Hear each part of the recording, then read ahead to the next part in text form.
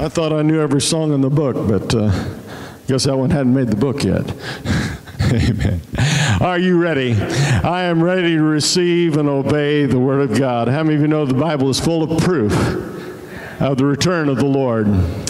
You know, I mentioned uh, 10 verses of the Old Testament that spoke of the return of Christ to earth. And uh, of course, if we had talked about the millennial reign of Christ on earth, we'd probably had three or four hundred verses that speak of that time. Therefore, the redeemed of the Lord shall return and come with singing unto Zion.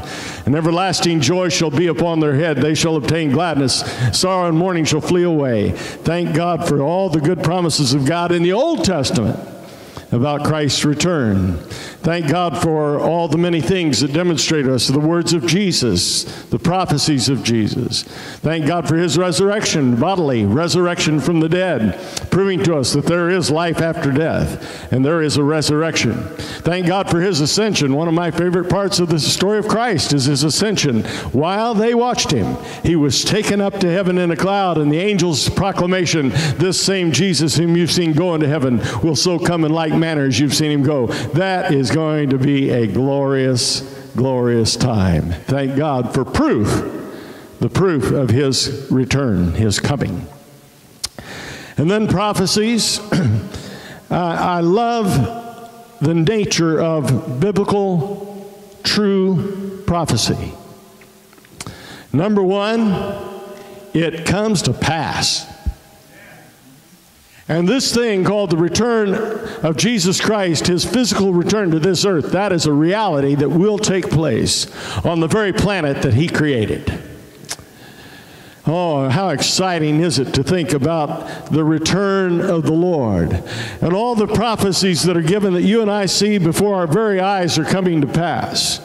Now, I, I, had several pastors growing up, and particularly at our little church in Wellsville, but uh, um, the reality is there are just certain pastors, uh, long term pastors, who ha- had a, an effect on my life. And, and I wish that I could bring the three of them here, and I wish I could have them stand before you and tell you, as they look at this current world, that the very things that they preached decades ago are happening before your very eyes in a pace that they could have only dreamt of. We got a lot of preachers' kids in this church. I love our preachers' kids. And you were told at a very early age these things. They believed in the imminent return of Jesus Christ to the earth, as do we. There's no one that believes more in the imminent return of Jesus Christ than I do. I don't care how many books are written on the subject or how many prophets emerge that say they know when he's coming, they don't. But I do know what I do know. I know that Jesus is coming again. And those pastors of mine and those pastors of yours in the past, if they were here today, they'd say, This is exactly what we were preaching. This is exactly what we believed. And it's coming to pass before your very eyes. How many of you excited about the return of the Lord? How many of you excited about the rapture of the church? Well, you know what? I got a feeling about that. And it's a new feeling.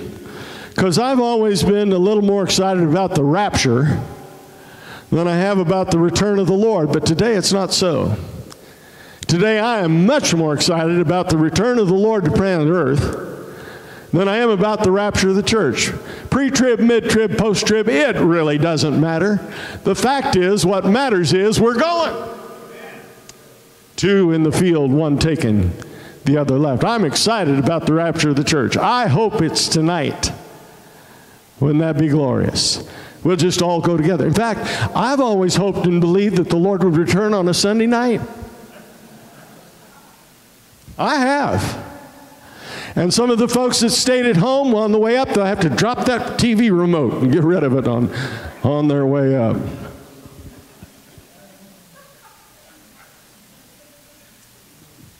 There are many promises. Not only are there proofs, not only are there prophecies, there are promises. And you can trust the Word of God, these promises will come to pass. When the scoffers and the doubters, and even Christians, say, Where is the promise of His coming? All they're doing is inspiring doubt in what the Bible declares to be true. And they are also fulfilling prophecy. Bible said in these last days, Paul writes to us that they're going to say this. Where is the promise of his coming? Well, they're saying it, they're fulfilling prophecy. So I want to talk to you tonight about seven promises from God's Word about Christ's return. And let me assure you, I'm excited about the rapture, but what really is going to count on planet Earth is when Jesus comes down and sets his foot on the Mount of Olives.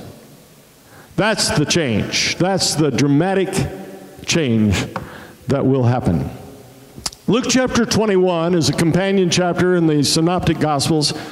Matthew 24, Luke 21, essentially relating mostly the same information, but with, with some differences. And one of those difference, differences in the Gospel of Luke means the world to me. Luke 21 and 20, and when you shall see. You're going to see Jerusalem compassed with armies. Uh, we're not talking about 70 AD here, we're talking about a time to come. The very context and nature of Luke 21, Matthew 24 is a future coming of the Lord. The signs of the times and the end of the world was the question in Matthew 24. The disciples specifically asked, What is the sign, one sign of your coming and of the end of the age? And Jesus gave them an earful. Thank God we have it for us today to know that Jerusalem will be compassed about with armies. What's happening in Israel this very day, does it surprise you that this prophetic word will come to pass?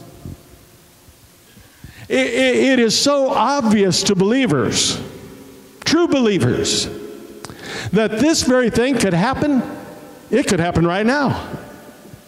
When all the armies of the world, all the kings of the earth will gather together against that one nation. I mean, seriously, folks, the United States of America is hanging on by a thread in its support of the nation of Israel.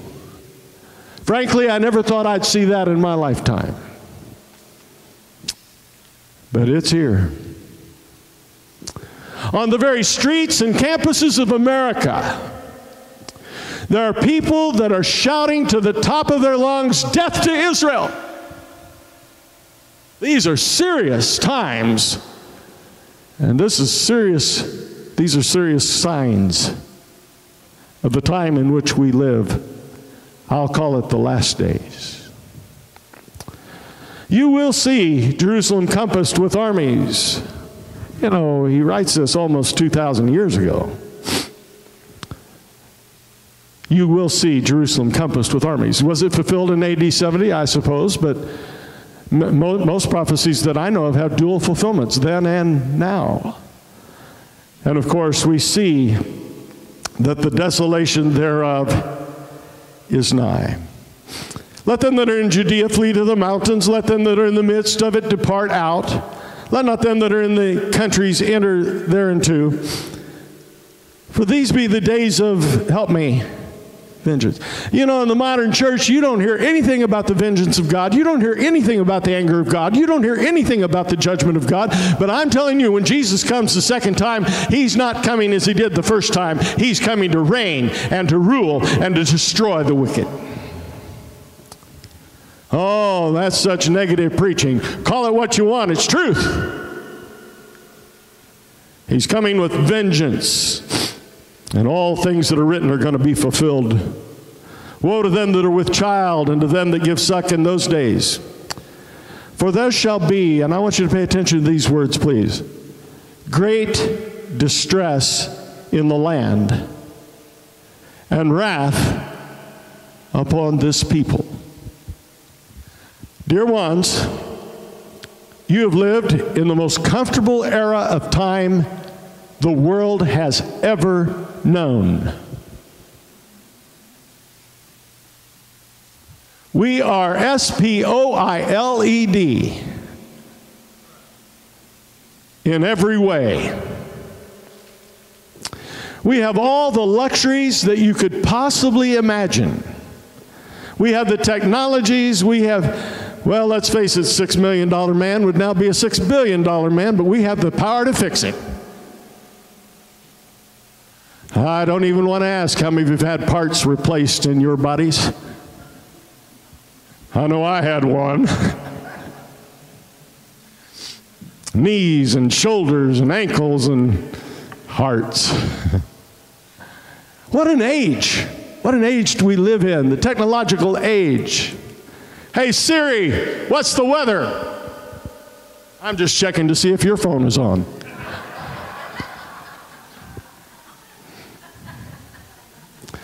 Uh, we call it Echo at our house instead of Alexa because every time the TV says Alexa, Alexa does something. And uh, Echo, play this little light of mine. And this little light of mine, comes on. Along with advertisements about the record you can buy that has this little light of mine on it, right? What an, what an age of comfort we live in. My, my, my, my, my. I was so happy the day mom let me have a black and white TV in my bedroom with rabbit ears. And yet I can get information all around the world at the drop of, well, at the push of a button or a voice command. And that is just beginning. And yet, with all of these comforts, there is a greater distress in the world today than we could possibly describe in this message. There is tremendous distress, and yoga won't solve it. You can shout amen, that's true. That uh, comfort animal won't solve it. Drugs and alcohol won't solve it. Legalization of pot won't solve it. You name it, it won't solve it. Psychiatrists can't solve it. There is a great distress in the land, and there will also be upon his own chosen people a wrath, a wrath upon this people. They shall fall by the edge of the sword. They shall be led captive to all nations, and Jerusalem shall be trodden down of the Gentiles until the times of the Gentiles shall be fulfilled. You get a little sense of 70 AD and following there. I love verse 25. And there shall be signs in the sun and in the moon and in the stars. Would you say that, please? Sun, moon, and stars. And so I preach it often. Wait till God goes messing with the sun, moon, and stars. You thought global cooling was an issue. You thought global warming was an issue. You thought climate change was an issue. Wait till he goes messing with the sun, moon, and the star. Then you know it's getting serious. It's getting serious. Enjoy your electric car. And upon the earth, the first description of distress was about Jerusalem, about his own people. But the next description is upon the entire earth. Upon the earth, distress of nations, plural, with perplexity, the sea and the waves roaring. Do we look back far enough to remember that great tsunami that swept across the Pacific? Just a touch of what is to come on planet Earth say, well, there's only one judgment of God by water, and that was in the days of Noah. Evidently, there's a little more water coming. The seas and the waves roaring.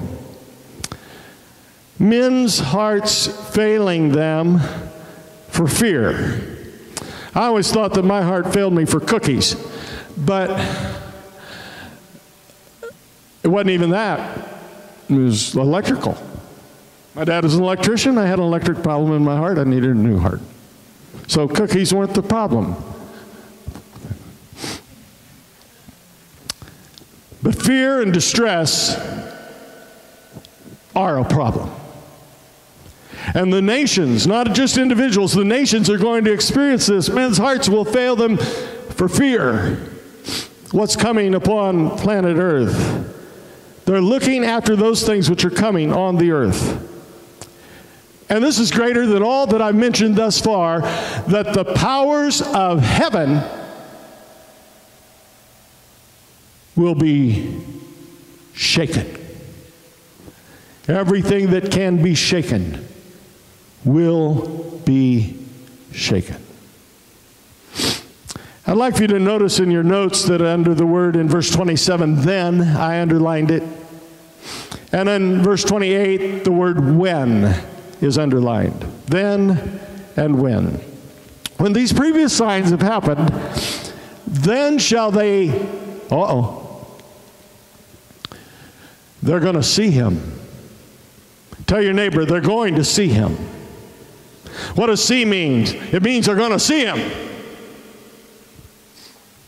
They shall see the Son of Man coming in a cloud with power and great glory. Every time I see an exciting cloud in the east, I get excited. Boy, Lord, you're an artist. You are such an artist. Every time I see a sunset, I say, Lord, you're an artist. What an artist you are. Amazing. Just inspires my heart to worship Him, His great creation. But, friends, the rapture of the church all around this entire world, not a 24 hour cycle, but all around this world in a moment, in a twinkling of an eye, the church is going to be gone.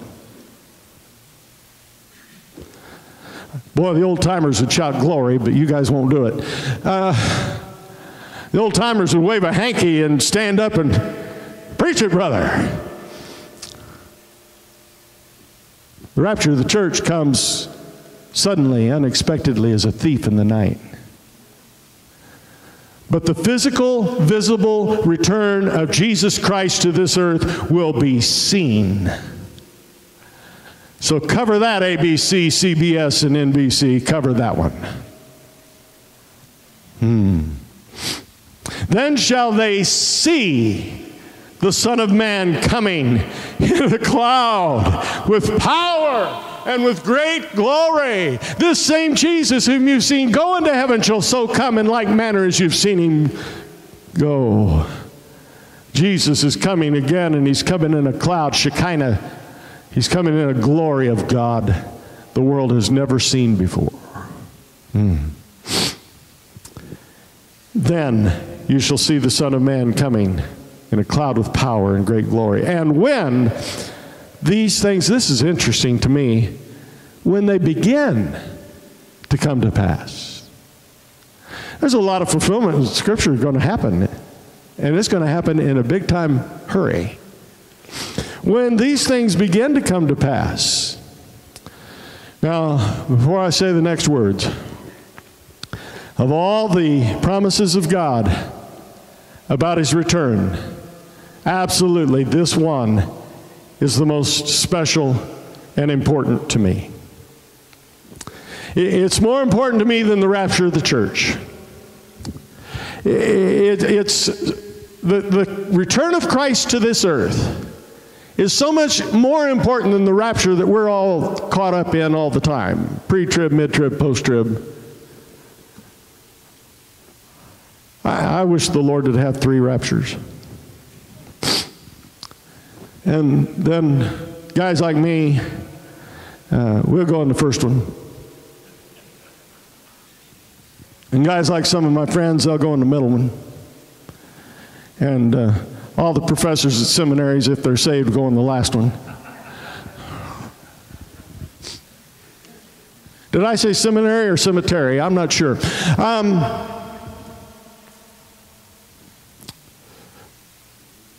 when these things begin to come to pass, look up, lift up your heads. Your redemption draweth nigh. Your redemption draws nigh, brother. Sister, your redemption is drawing nigh. Children, your redemption is drawing nigh. And so, this old weary world, with all its toils and struggles, they're not going to matter a bit to us when King Jesus comes to live with us again. Well, that's the first of seven points. Is there anything more important than that redemption drawing nigh. I can't think of any, but this comes pretty close. Speaks of our eternity. Let not your heart be troubled. You believe in God, believe also in me. Jesus is speaking. In my Father's house. He didn't say in my house, he said in my Father's house. Are many mansions. Newer uh, versions of Scripture might say dwelling places. You keep your dwelling place, I want my mansion. So does Ira Stanphill, who wrote the great song. In my father's house are many mansions, plural. If it were not so, I would have told you. Jesus said, I go. What is the reason he left planet Earth? Well, partially this I go to prepare a place for you. And if I go and prepare a place for you, I will come again. Say it, please. I will come again. Say it again. I will come again. That's a promise and receive you individually. I will receive you unto myself, that where I am,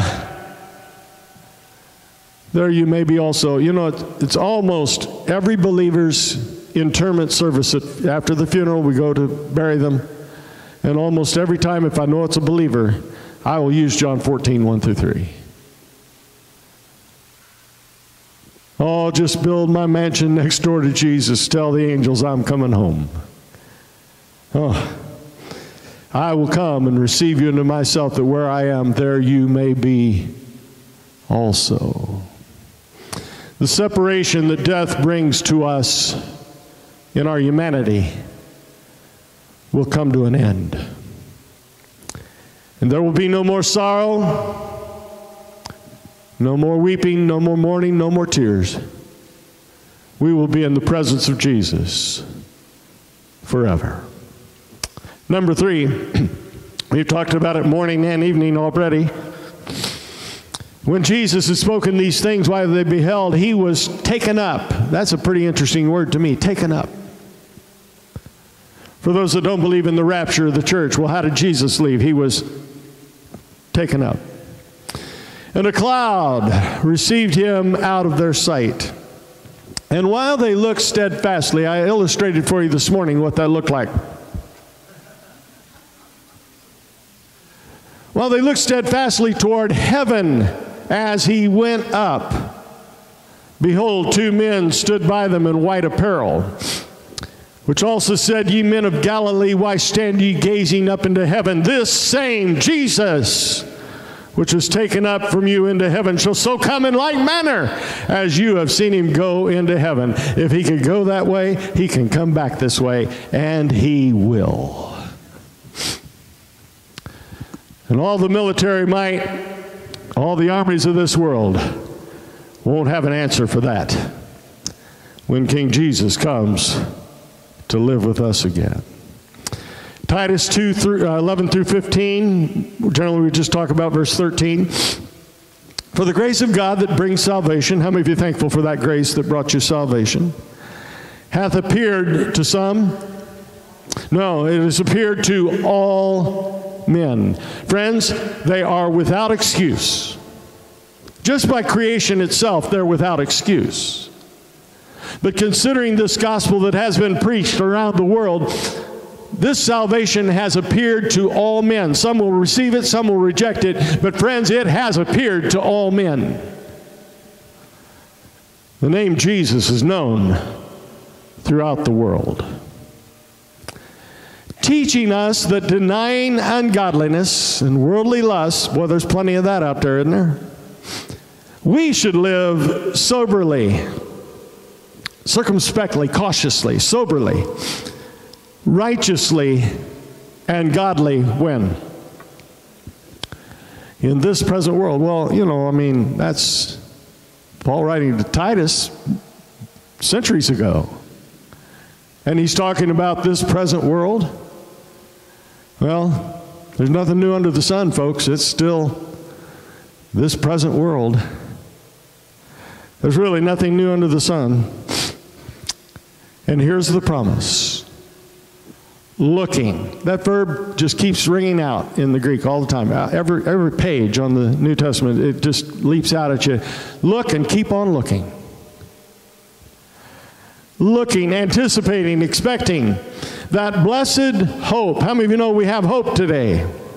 The blessed hope and the glorious appearing of the great God and our Savior, Jesus Christ. Hmm. Eat your heart out, Star Wars.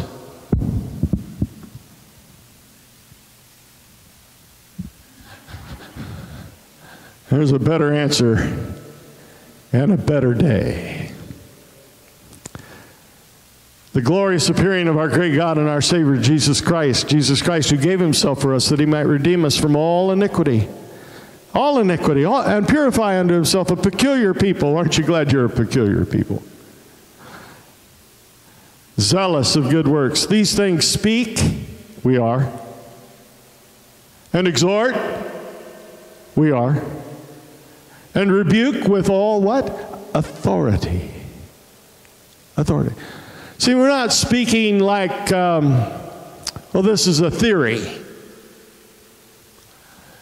We're speaking with the authority of Scripture, the very words of Jesus, and the words of the apostles. We're speaking with God's authority. Jesus is coming again and we're to preach it. So, woe to any preacher that stops preaching it.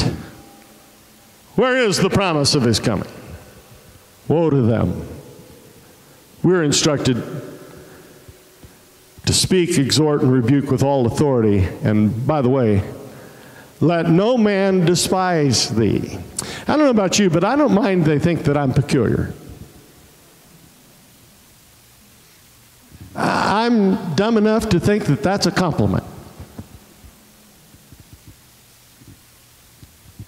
Because there's all this talk and all these movies and all these books and everything about aliens, aliens, aliens, aliens. And they're looking and they're searching and they're trying to find the aliens, and here I am.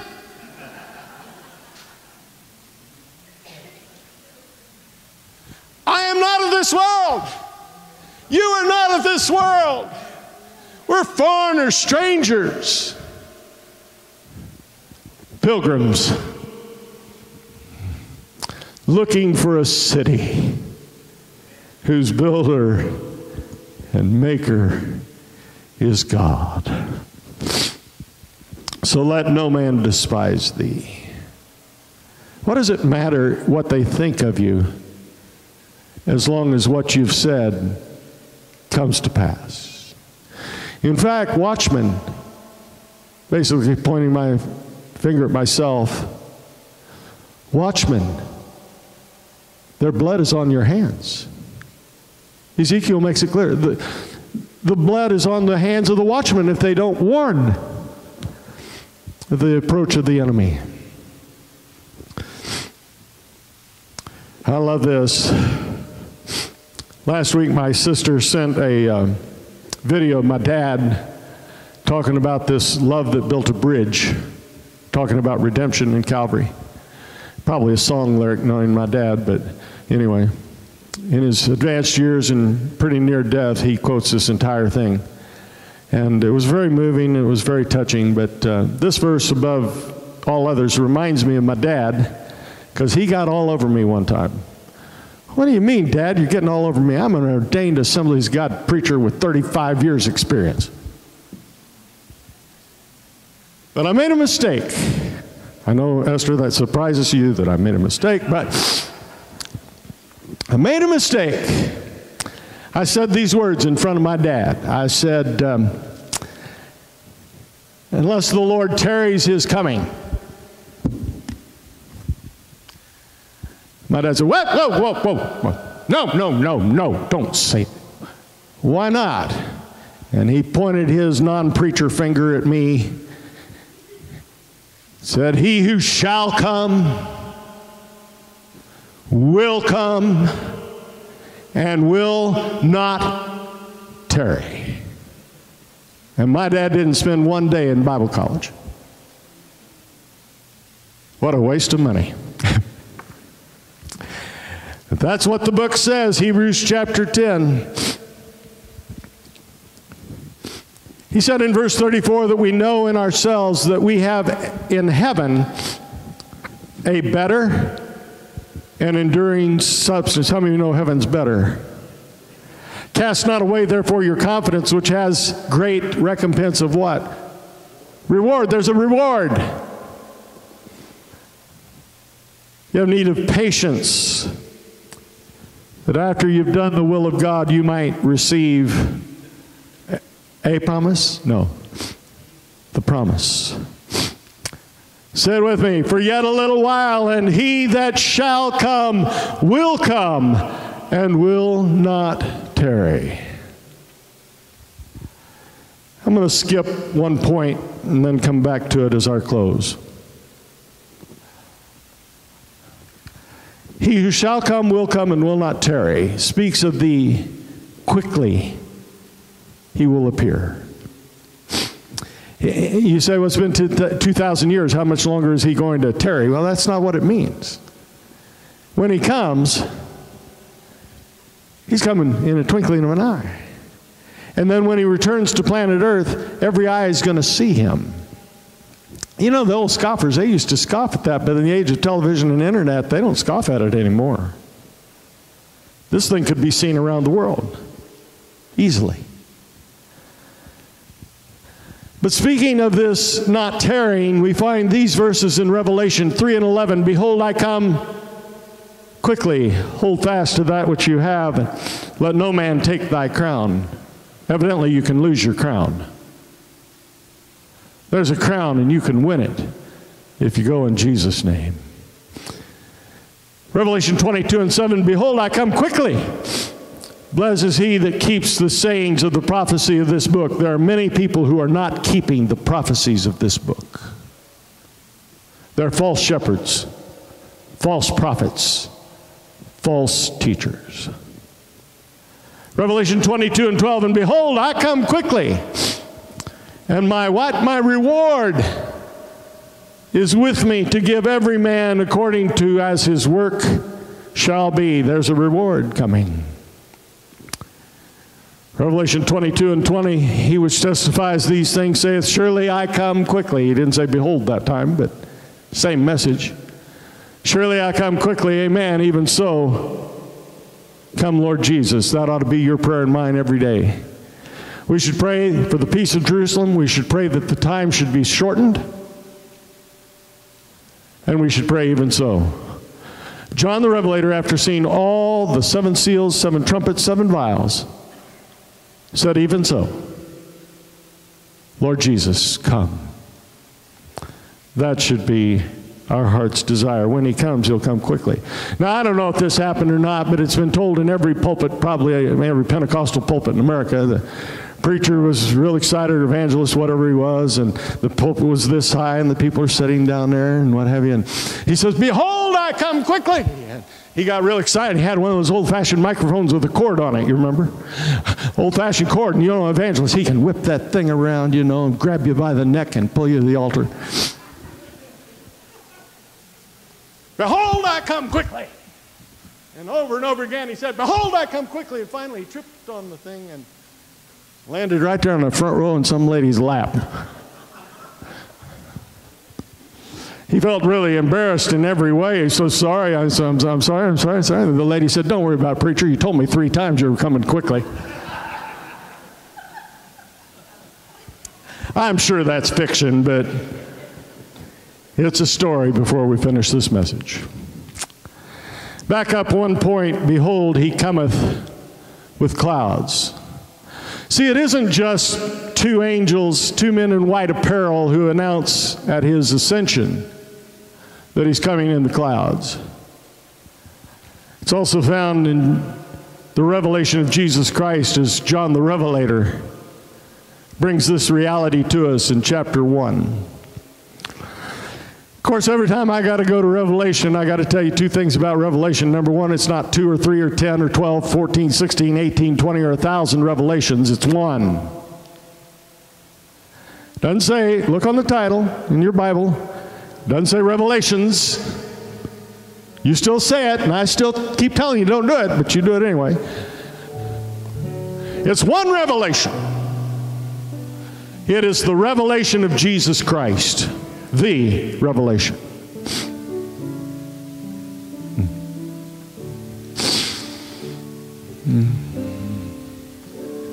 It's not the revelation of the Antichrist. It's not the revelation of the mark of the beast. It's not the revelation of the seven seals. It is the revelation of Jesus Christ. In Revelation 1 and 7, behold, he cometh with clouds. I hope you get that. You'll never be led astray by a false Christ as long as you know the real one's coming in the clouds. Behold, he cometh with clouds, and people read this, they know it's in there, but it just doesn't somehow take hold. But let it take hold tonight. That every eye shall see him. Exactly what Jesus said to Caiaphas and the religious of his day that were crucifying him, going to have him crucified. He said, You're going to see the Son of Man. You're going to see him. Those that pierced him. Every eye shall see him, and they also which pierced him. Not only that, friends, and all, say all, all kindreds of the earth shall wail because of him. And the way he ended the revelation is how he starts it here when he says, Even so. Amen. What is the revelation of Jesus here? It is I am Alpha and Omega, the beginning and the ending, saith the Lord, which is, which was, which is to come. Who is he? He's the Almighty, King of kings and Lord of lords, and he is coming soon. Hallelujah. Live